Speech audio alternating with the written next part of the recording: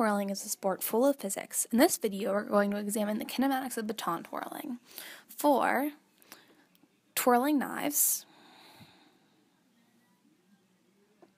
throwing knives, and a simple high toss. We're going to begin with the video of me twirling the knives. The knives make a total of five and a half revolutions in five seconds. Leading us to the first slide, we can see our, our constants, revolutions, and time. And then we can calculate displacement by multiplying the number of revolutions times 2 pi radians to lead us to 11 pi radians for displacement. And we can also calculate our average velocity, which is theta displacement over t time, which is 11 pi radians over 5 seconds, otherwise known as 6.9 radians per second. Going on, we would usually calculate for the acceleration at this point with all of our constant li constants listed. However, there is no acceleration, so our batons and knives in this case remain at a constant speed. Next, we're going to take a look at the video of me throwing the knives. The knives make a total of one revolution in 1.5 seconds. Moving on to the next slide, we can see that the displacement is 2 pi radians, and calculating for the average velocity using the same method as before, we're going to find that to be 4.2 radians per second.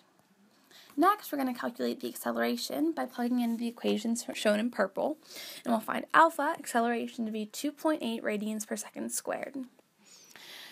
Now we're going to take into account that the radius of the knives are 27 inches, which is also equal to 0.69 meters.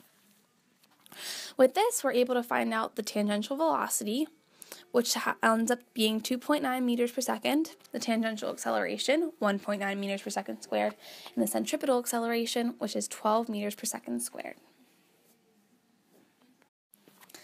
The final video we're going to take a look at is the high toss. We can see that the baton here makes four revolutions in a time of two seconds.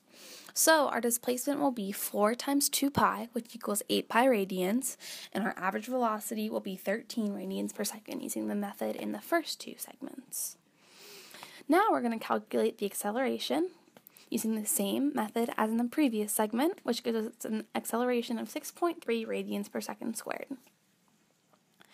Finally, as in before, we're going to calculate the tangential velocity, tangential acceleration, and centripetal acceleration.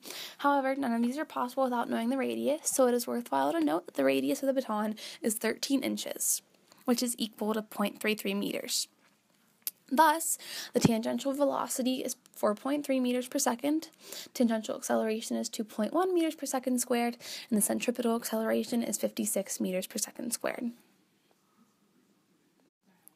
Thanks for watching. I hope you learned something new, and I also hope you have a wonderful day.